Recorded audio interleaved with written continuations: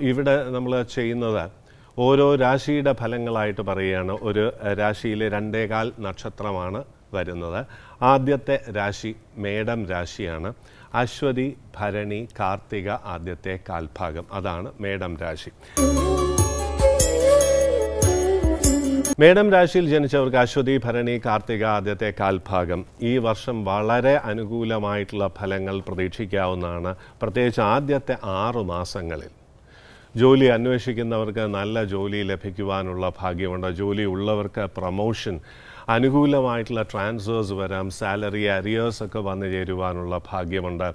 പുതിയ ജോലിക്കായിട്ട് ആഗ്രഹിക്കുന്നവർക്കും വളരെ നല്ലൊരു കാലമാണ് ഈ വരുന്ന ആറുമാസം ജോലിക്കായി ശ്രമിക്കുക. വിദേശ ജോലി ആഗ്രഹിക്കുന്നവർക്കും വളരെ നല്ല സമയമാണ്. നല്ല രീതിയിലുള്ള ഒരു സ്ഥാനം ലഭിക്കുവാനുള്ള ഭാഗ്യം വരുന്ന ആറുമാസത്തിനകം തന്നെ കാണുന്നുണ്ട്. വിവാഹ കാര്യങ്ങൾക്ക് നല്ല സമയമാണ്. കുറച്ചു കാലമായിട്ട് വിവാഹം തടസ്സപ്പെട്ടിരുന്നവർക്കൊക്കെ പ്രത്യേകിച്ച് ജാതകത്തിൽ അല്പം ദോഷമുണ്ടെങ്കിൽ അല്ലെങ്കിൽ ശുദ്ധജാതകം പുരുഷന്മാർക്ക് വരികയാണെങ്കിൽ വിവാഹം തടസ്സപ്പെടാറുണ്ട്. അങ്ങനെ വിവാഹം തടസ്സപ്പെട്ടിരുന്നവർക്കും വളരെ അനുകൂലമായിട്ടുള്ള ഒരു സമയമാണ് ഈ വരുന്ന ആറുമാസം ഇപ്പോൾ വിവാഹത്തിനായി ശ്രമിക്കുക വിവാഹ നിശ്ചയം അല്ലെങ്കിൽ വിവാഹം തന്നെയും വന്നു ചേരുവാനുള്ള ഭാഗ്യം വരുന്ന ആറു മാസത്തിനകത്ത് തന്നെ കാണുന്നുണ്ട്.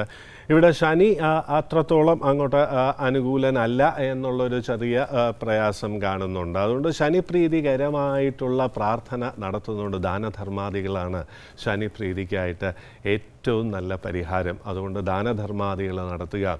ശനിയാഴ്ച ശ്രീ ധർമ്മശാസ്ത്ര ക്ഷേത്ര ദർശനം നടത്തുക. അവിടെ നീരാജനം കഴിപ്പിക്കുക.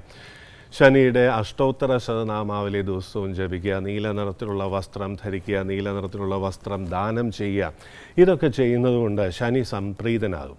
അപ്പോൾ അതുകൊണ്ട് തന്നെ ശനിയെ കൊണ്ടുള്ള തടസ്സങ്ങളൊക്കെ തന്നെയും നീങ്ങി വരുന്ന ഒരു വർഷത്തിനകം നേട്ടങ്ങൾ ഉണ്ടാകുവാനുള്ള ഭാഗ്യമുണ്ട്. ബിസിനസ് രംഗത്ത് പ്രവർത്തിക്കുന്നവർക്കും വളരെ അനുകൂലമായിട്ടുള്ള ഒരു സമയമാണ് നേട്ടങ്ങൾ ഉണ്ടാകാം പുതിയ പാർട്ട്ണർഷിപ്പൊക്കെ വന്നു ചേരുവാനുള്ള ഭാഗ്യമുണ്ട്. ലോൺ ക്രെഡിറ്റ് സൗകര്യങ്ങൾ ലഭിക്കാനുള്ള യോഗമുണ്ട്.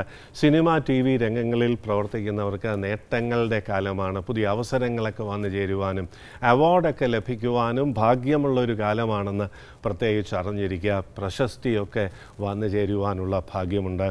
കഴിവ് നന്നായി ഉപയോഗിക്കുക.